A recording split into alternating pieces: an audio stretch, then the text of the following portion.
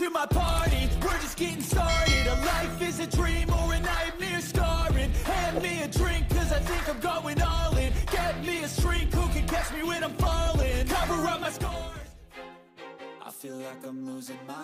Gemar pemain muda, bagaimana peluang tiga pemain ini gabung Persik Kediri?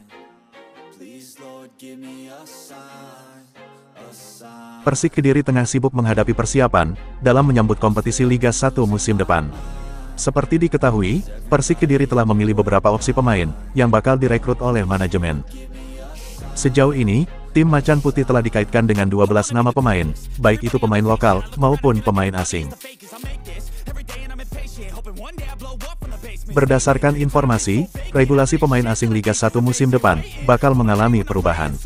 Jika resmi disahkan, para kontestan Liga 1 diperbolehkan untuk memakai setidaknya 5 plus 1 pemain asing, yang satu di antaranya harus berasal dari Konfederasi ASEAN. Bukan itu saja, Persik Kediri juga berpotensi mendatangkan pemain muda lokal, yang merupakan bagian dari rencana transfer dari tim Macan Putih. Seperti diketahui, Persik Kediri merupakan salah satu tim yang pandai dalam memoles pemain muda, yang semulanya memiliki performa biasa saja, hingga menjadi incaran dari tim lainnya. Lantas, bagaimanakah peluang ketiga pemain muda yang dikaitkan dengan Persik Kediri, untuk dapat bergabung di musim depan? Nama yang pertama, ialah Saiful. Saiful merupakan gelandang serang milik Persebaya Surabaya, yang sejatinya tak terlalu banyak mendapatkan menit bermain di musim lalu. Mantan pemain Persib Bandung itu, hanya diberikan kesempatan empat kali main, bersama tim Bajul Ijo. Dari empat pertandingan yang dimainkan Saiful, hanya satu laga yang ia catatkan sebagai starter.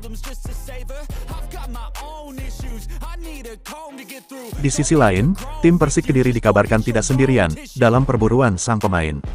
Madura United dirumorkan juga tertarik, untuk menggunakan jasa pemain muda tersebut, untuk mengarungi kompetisi musim depan. Untuk peluang hengkangnya, menilik dari jam bermain yang minim, besar kemungkinan Saiful bakal mendarat, ke salah satu di antara dua klub tersebut. Terlebih lagi, durasi kontraknya diperkirakan berakhir pada akhir musim ini.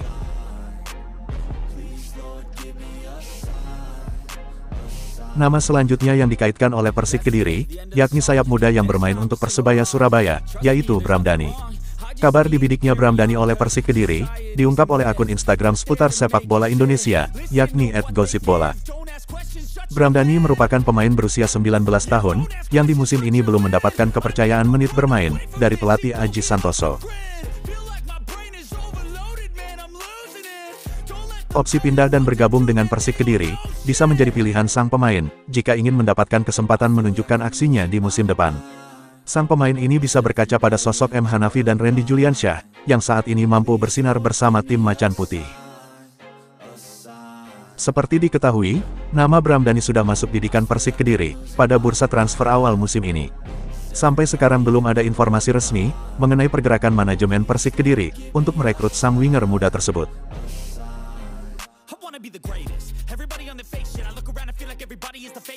Manuver transfer Persik Kediri selanjutnya, yakni penyerang lokal Barito Putra yang dipinjam dari Sulut United, yaitu Excel Runtukahu. Kabar ketertarikan Persik Kediri terhadap Excel Runtukahu, juga diungkap oleh akun Instagram @gosipbola.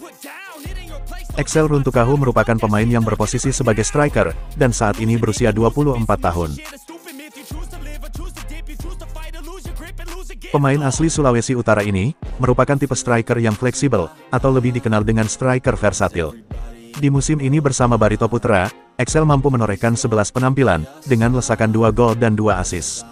Dengan mendatangkan Excel Runtukahu ke Tanah Kediri, tentu akan menyelesaikan kebutuhan striker lokal bagi tim Macan Putih. Dan sampai saat ini, pihak Persik dikabarkan masih dalam tahap berminat, serta belum mengajukan penawaran resmi terhadap sang pemain.